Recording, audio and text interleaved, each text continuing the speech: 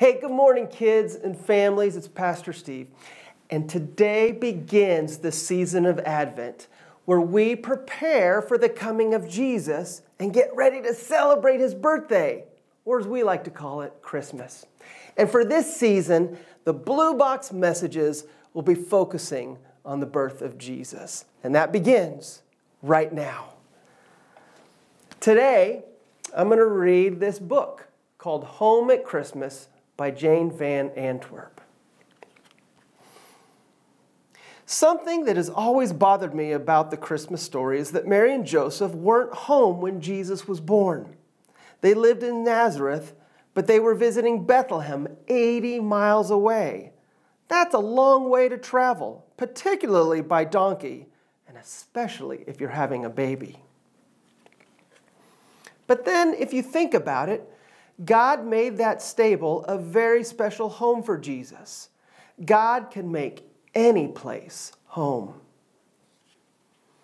God made a home for Jonah in the belly of a whale for three days because that is where he heard God's voice and responded to him.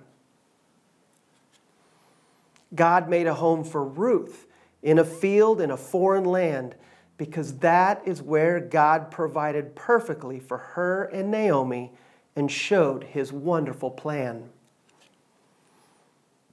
God made a home in a cold, dark prison for Paul and Silas because that is where they sang their praises to him.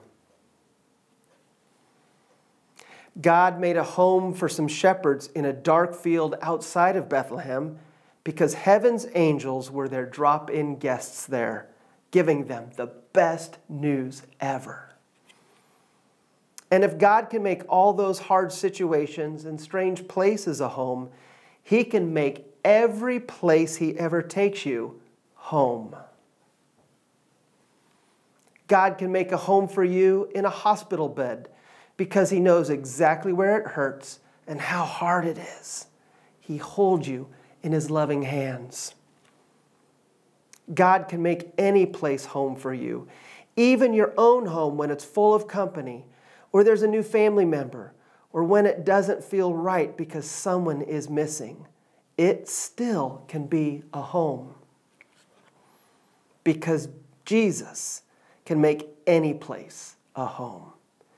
Over 2,000 years ago, he made a manger his home just so he could be with all of us. Let's pray.